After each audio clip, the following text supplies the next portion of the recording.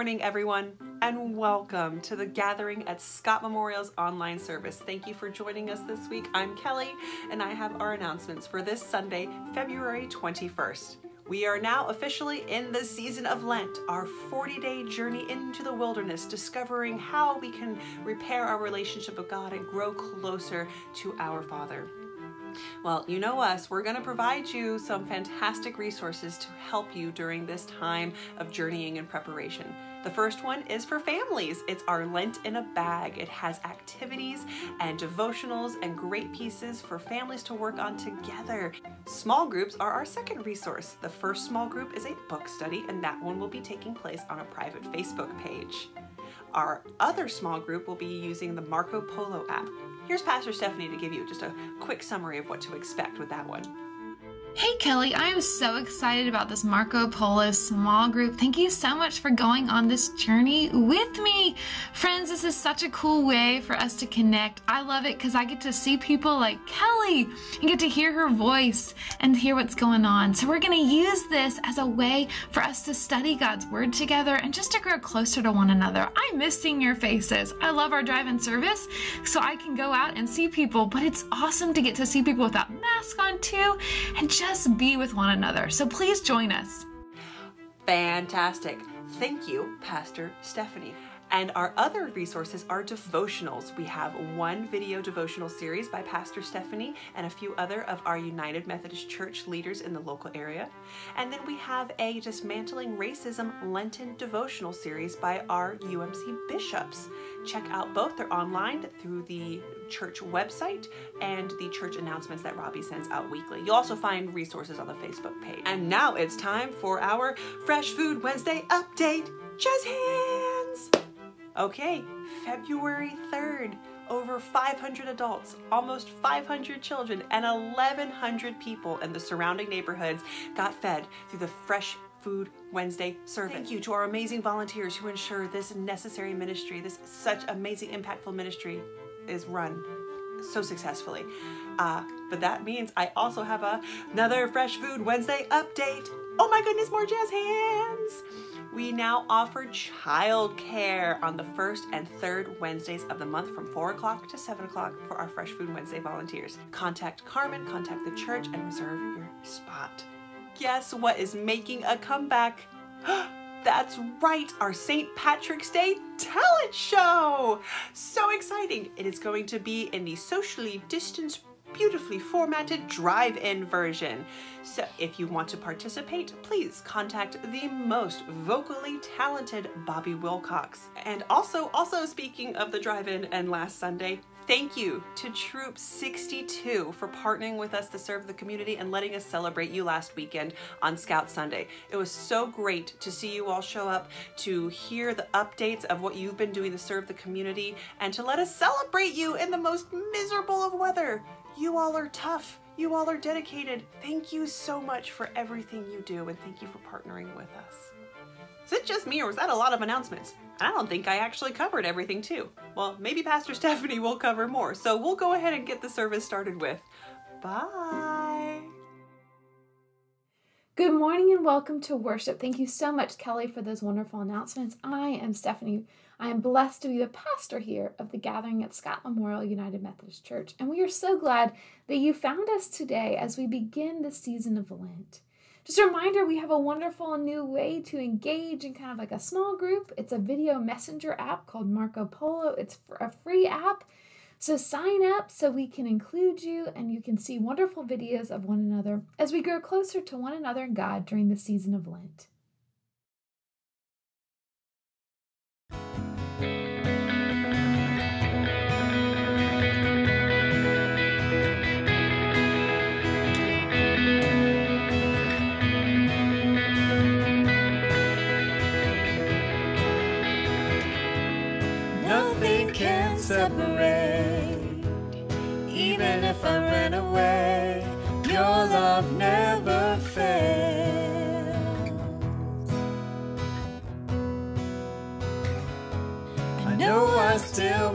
Mistakes, but you have new mercies for me every day.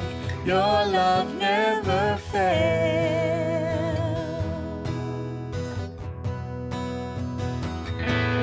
You stay the same through the ages. Your love never changes. There may be pain in the night, but joy comes in the morning.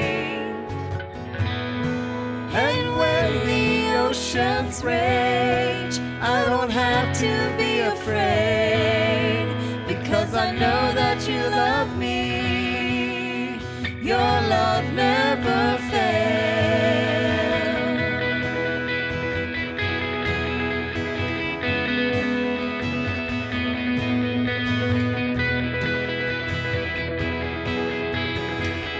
Wind is strong and the water's deep. I'm not alone Your love never fails.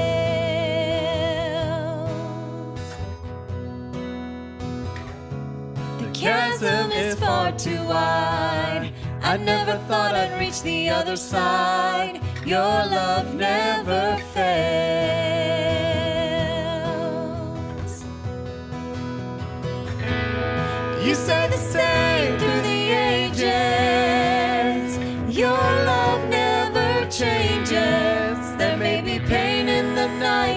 Joy comes in the morning.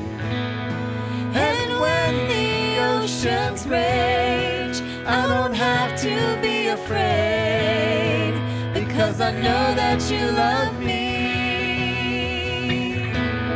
You stay the same through the ages. Your love never changes. There may be pain in the night, but joy comes in the morning. And when the oceans rage, I don't have to be afraid because I know that you love me. Your love never fails.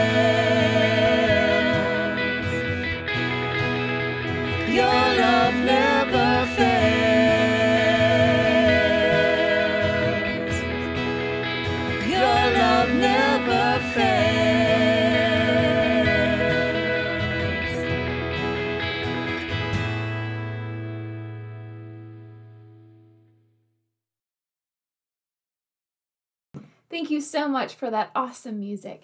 And now, friends, is when we usually have our offering, so thank you to all who continue to give of your tithes and offerings.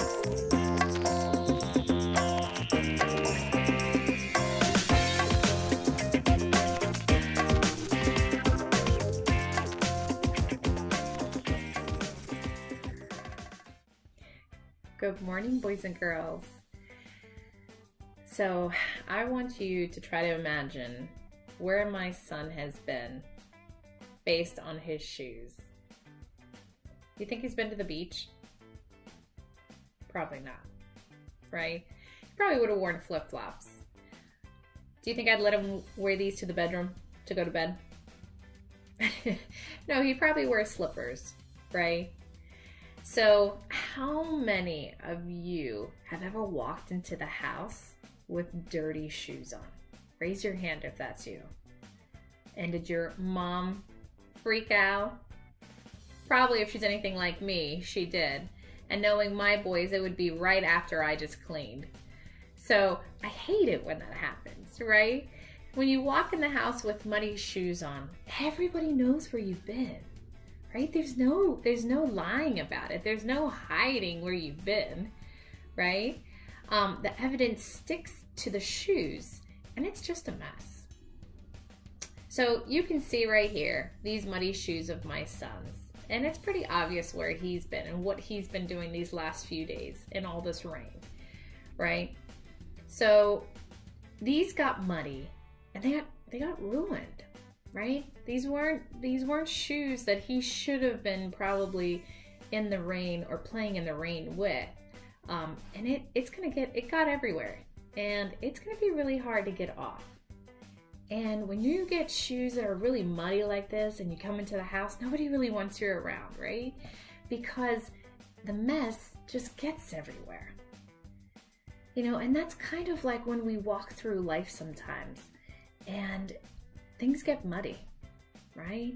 We uh, we get into bad situations, like when we see a mud hole or a bad situation that we know we should avoid it, and just sometimes that doesn't happen, right? Or we're too tempted.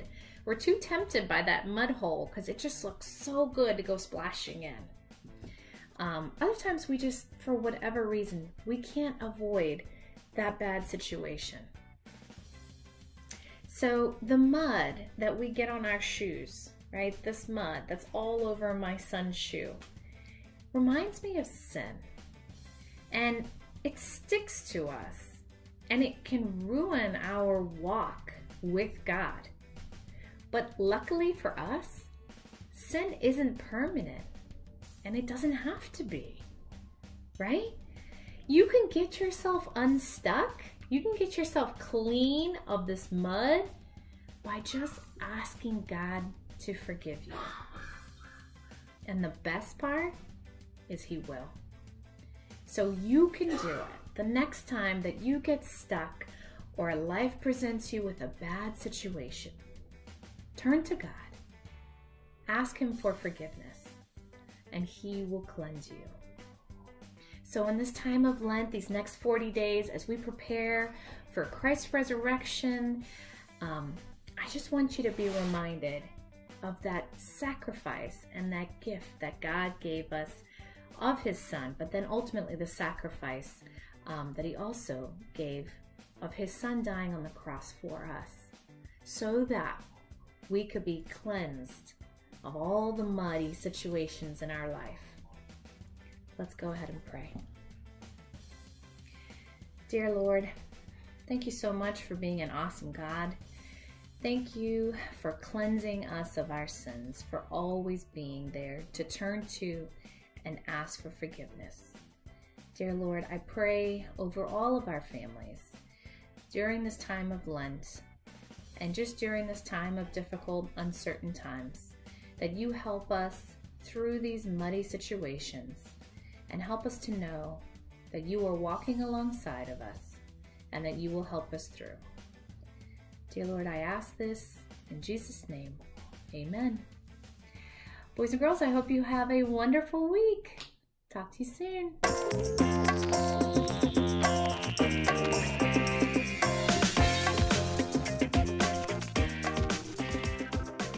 Will you all please pray with me?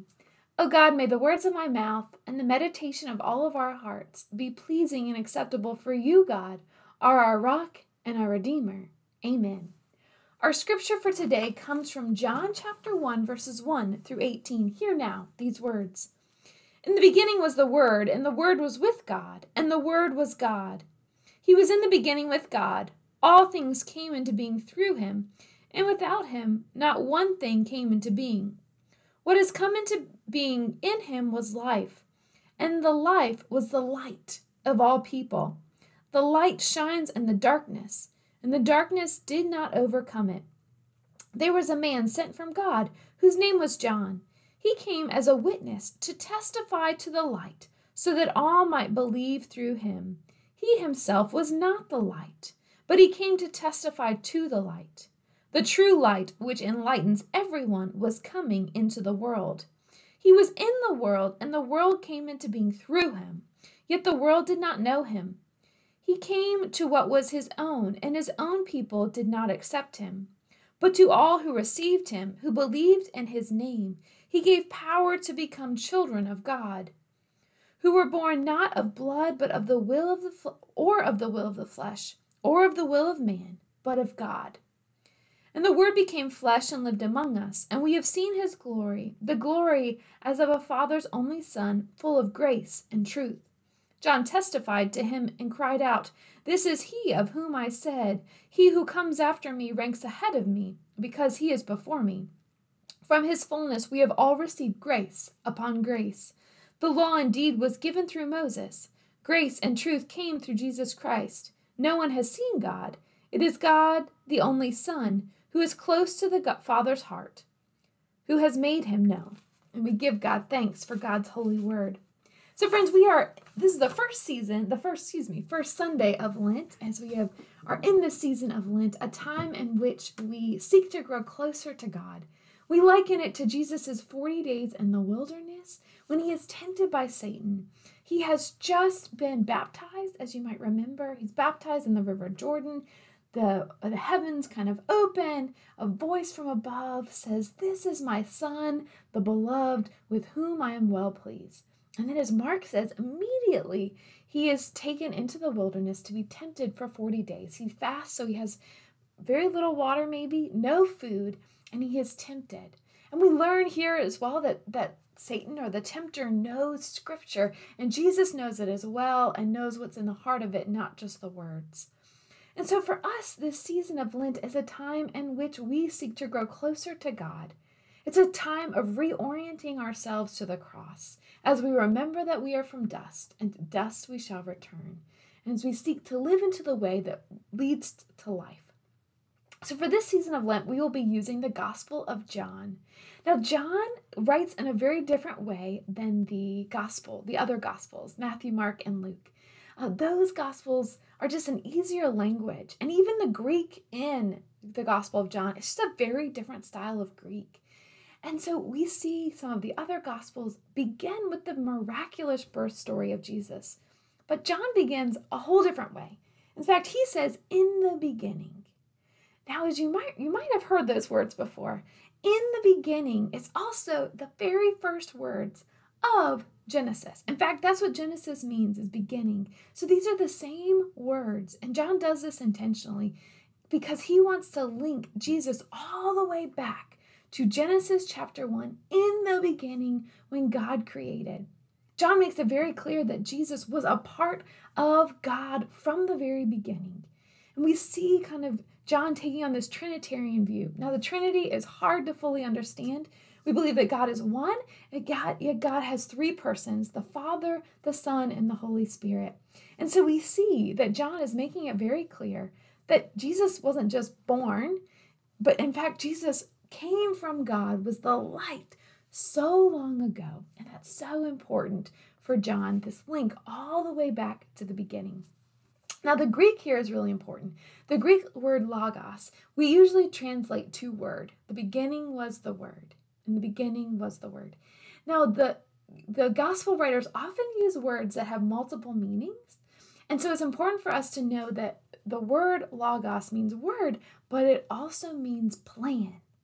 So we're told that in the beginning, God had a plan. God had a plan, and that plan was Jesus. It's powerful when we start to think about it this way, especially because we know what's going to happen, right? It's only in Genesis 3 that we have the act of disobedience. When Adam and Eve eat the fruit from the one tree, God asked them not to eat from, they disobey God. And so we see that act of disobedience. And so we see that in the beginning, even before that act of disobedience, God had a plan and a plan that included Jesus Christ. And so it's like God knew that unfortunately we were going to mess up, that we were going to not fully live into God's plan, that we were going to disconnect from God because of our sin. And so we see what's powerful when we start to think that God had a plan from the very beginning. So I wanted to read from you from Genesis chapter 1, verses 1 through 5, as we're reminded of these powerful words that John is trying to connect us back to. In the beginning, when God created the heavens and the earth, the earth was a formless void, and darkness covered the face of the deep, while a wind from God swept over the face of the waters. Then God said, Let there be light. And there was light. And God saw that the light was good, and God separated the light from the darkness. God called the light day, and the darkness he called night. And there was evening, and there was morning, the first day. There is an author of a wonderful Sunday school lesson that many churches use, and uh, I think it's called like the quarterly. And so, in one of them that came from 2018, author John writes about how what God is what God is trying to say here. I'm sorry, the author's name is Jack Gilbert. So Jack Gilbert writes that it's important for us when we read Genesis chapter 1 verses 1 through 5 that this light does not come from the sun or the moon. In fact, God's about to create that in just the following verses. So this isn't the light that God's talking about. This is something different. And so Jack tries to, to bring this all the way back to John chapter 1. Again, that, that Jesus is a part of God, and yet God is kind of creating this light that is Jesus Christ and separating Jesus from the darkness. Now, it's important also to touch on here that unfortunately, at times, this scripture, this these concepts of light and dark have been used in inappropriate ways. And so it's important for us to recognize that and make it clear that's not what we're trying to say. Unfortunately, this has been used to say people who have darker skin are different from people who have lighter skin, and that's not what God is trying to say at all here. God is talking about something totally different. In fact, the absence of any color is actually a pure white, and our eyes can't even see it. We can't even comprehend it because we need light in order to see it all. Even, you know, when it's pitch black dark, our eyes pick up on a tiny bit of light that we can find anywhere. Whether it's from animals, whether it's from, you know, lightning bugs, whether it's from the stars in the sky, our eyes pick up on that light so we can see. So that's not what Jesus is talking about. The voice translation uses the word murky. They say it's the murkiness from the bottom. I think that's how they translate or they describe the darkness. And so I'm kind of I'm, enjoying that kind of way of looking at darkness and light. Because the truth is when we're in a time of of what we might call darkness, it feels murky, doesn't it? Think about a time in which you felt disoriented, when you felt like you were walking through a fog. That's another way I think of it is kind of, you know, a fog. Um, this past week has been uh, just a weird weather in Virginia, which what else is new? But we've had some weird fog. Even last Sunday, I remember driving to church. Um, that, there was just a lot of fog. In fact, the um, the electronic signs on the interstate were warning fog ahead. And it didn't take long before you couldn't see that far ahead of you. And that's kind of what disorienting times feel like, doesn't it? It feels like a fog that you can literally only see a little bit in front of you. You can't see the full picture. In fact, you can't even see behind you. You're just surrounded by this murkiness, this fog. And the truth is, many of us, COVID for me, 19, this season has felt like this murkiness, this fog. You know, I feel like at times I I kind of subvert, you know, my face gets above the fog and I can see a little farther ahead, but it doesn't take long before we're back in that fog, does it? Or I think about disorienting times in our lives, going through the death of a loved one, the loss of a job, a divorce, all these things kind of lead to us feeling like we're walking in darkness. Or as Psalm 20, Psalm, excuse me, Psalm 23 says, Well, we have walked, lo, we have walked in the valley of the shadow of death. We will fear no evil. Some of us are walking right now in that valley, or we're feeling that murkiness. We are feeling that fog all around us through various things going on in our lives. Sometimes as a result of things we've done, but often just as a result of living in this world. And it is disorienting. We feel that murkiness. You know, COVID 19 has led to times in which I've forgotten to eat meals or haven't been as active as I want to be, and I start to feel it in my body, right? We, we feel it affects every part of us from feeling more sluggish to not eating for as many fruits and vegetables as we need to other things as well. Maybe not responding in the, the best way. I feel like at times I get more snarky than usual, right? And that's always a sign that I'm in a murky time and I need more Jesus.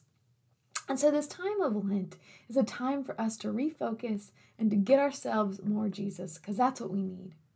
I enjoy that we are now past the winter solstice, and so slowly the night time um, seems to be less and less, right? I'm excited that at after six o'clock, there's still a tiny bit of lightness, even on these cloudy days. And so we're, I feel like we're starting to emerge from the murkiness that's just the seasons and the pattern of our world.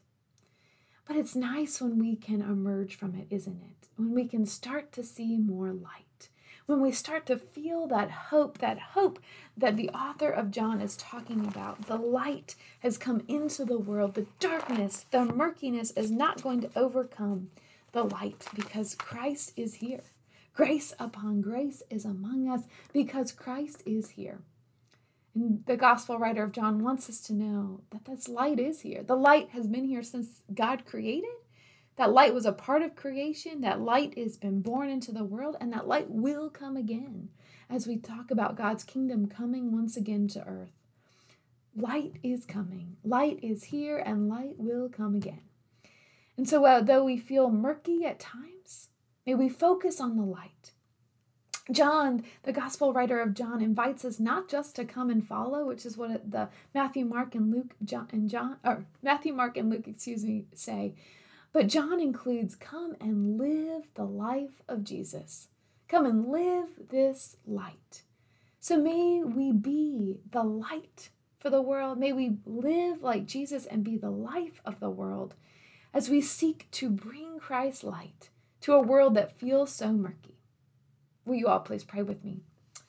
God, we give you thanks that you sent your Son Jesus Christ into the world to be the light, to show us the way to bring us out of this murkiness and to give us hope.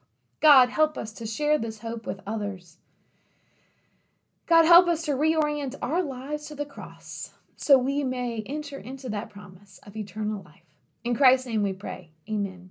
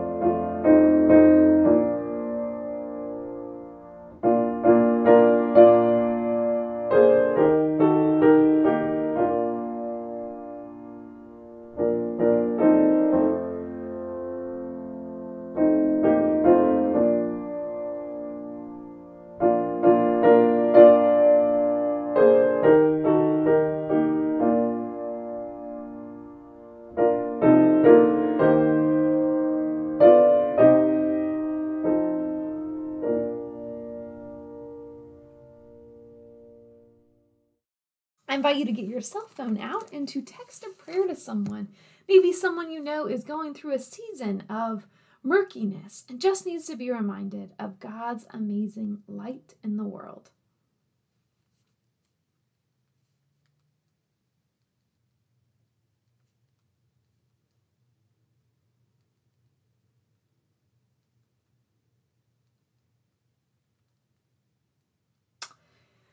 God be with all these we have people we have texted. God, you know the murkiness that everyone is facing. So, God, send Christ into their lives once again. May that light show a way out of the murkiness and give them the hope that they need for another day. And God, we just give you thanks for this season, this time of Lent, as we are invited to refocus.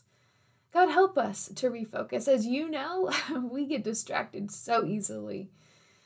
We, we start on the path, we start doing the right things, and then something else creeps in and we take our eyes off of you. So, God, help us to stay focused during this season. Help us to focus on you.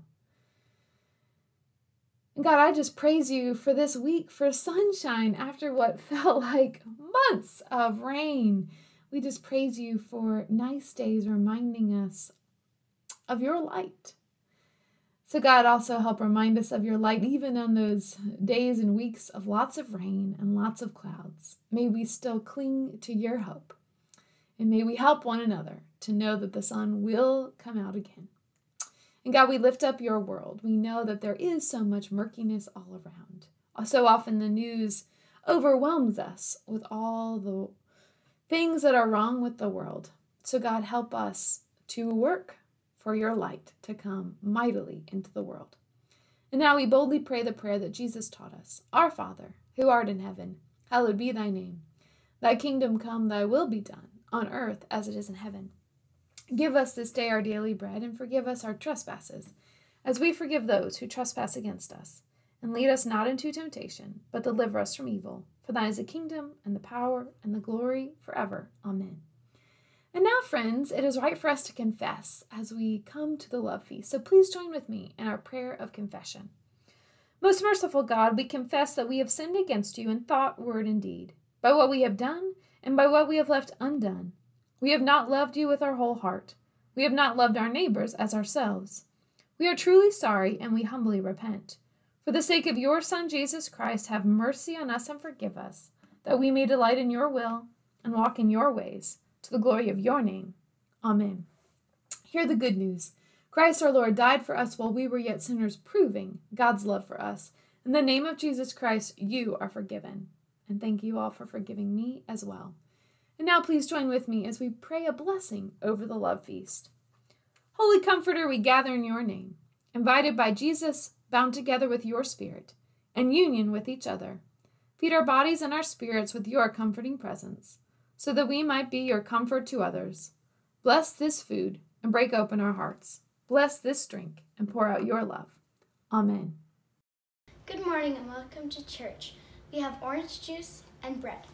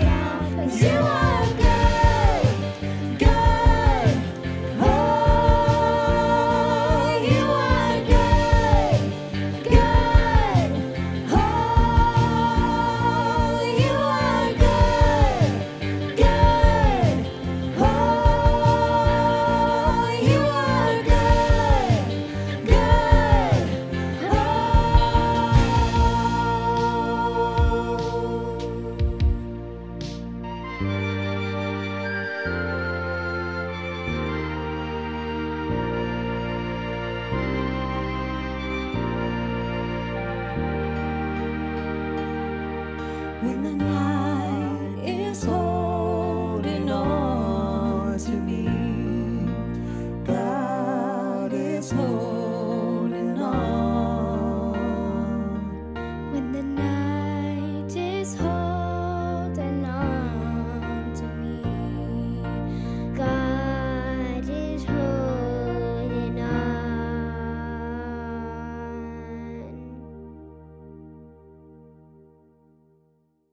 Receive now this blessing. May we go forth from this place following the light of Christ as we seek to shine that same light everywhere we go and all the murky places around us. Go now in the peace of Christ. Amen.